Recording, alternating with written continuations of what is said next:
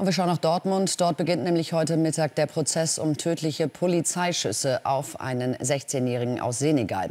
Der Flüchtling wurde Anfang August letzten Jahres in einer Jugendhilfeeinrichtung von der Polizei mit fünf Schüssen aus einer Maschinenpistole getötet. Dem Schützen wird Totschlag vorgeworfen. Ja, zwei Polizistinnen und ein Polizist sind außerdem wegen gefährlicher Körperverletzung im Amt angeklagt. Sie sollen ohne Vorwarnung Pfefferspray und Taser eingesetzt haben. Der ebenfalls angeklagte Dienststellenleiter soll sie genau dazu aufgefordert haben. Die Beamten kamen, weil der 16-Jährige gedroht haben soll, sich mit einem Messer selber zu töten.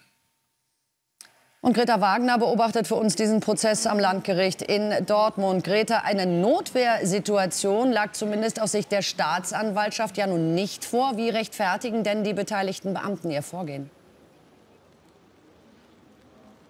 Ja, die Beamten, sie sprechen eben doch von dieser Notwehrsituation, denn äh, sie sagen eben, dass äh, Mohamed Rameh, also das spätere Opfer, auf sie zugestürmt sei und es eben nicht ganz klar war, ja, wie brenzlig diese Situation war. Und äh, die ist es bis heute nicht. Das sind die Fragen jetzt, die geklärt werden müssen in diesem Prozess, der wirklich für sehr viel Aufsehen hier in Dortmund äh, gesorgt hat. Äh, wir stehen jetzt auch vor dem Gerichtsgebäude. Um 14 Uhr startet der Prozess und schon jetzt haben sich hier einige auch äh, versammelt, um eben noch einmal an Mohammed zu gedenken, um hier eine Mahnwache abzuhalten vor dem Gerichtsgebäude.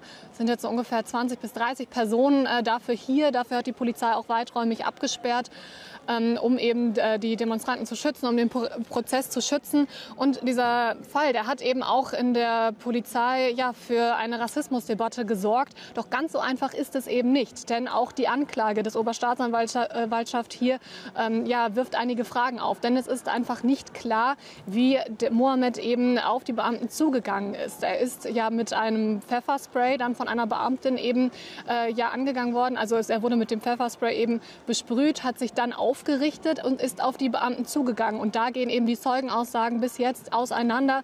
Die einen sprechen davon, er sei schnellen Schrittes gegangen, habe das Messer eben nach unten gehalten. Aber es gibt eben auch Zeugenaussagen, die eben davon sprechen, dass er doch gerannt sei und das Messer eben auf die Beamten gerichtet hat. Und äh, die Beamten haben dann ja auch weiterhin versucht, mit Tasern eben ihn davon abzuhalten, äh, die Beamten eben anzugreifen.